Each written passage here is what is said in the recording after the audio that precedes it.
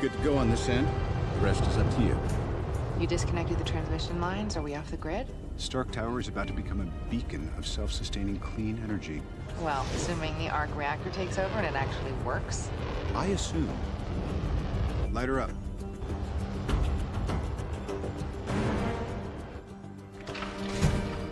How does it look? Like Christmas, but with more me.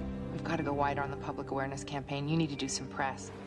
I'm in DC tomorrow. I'm working on the zoning for the next three buildings. Pepper, you're killing me. The moment, remember? Enjoy the moment.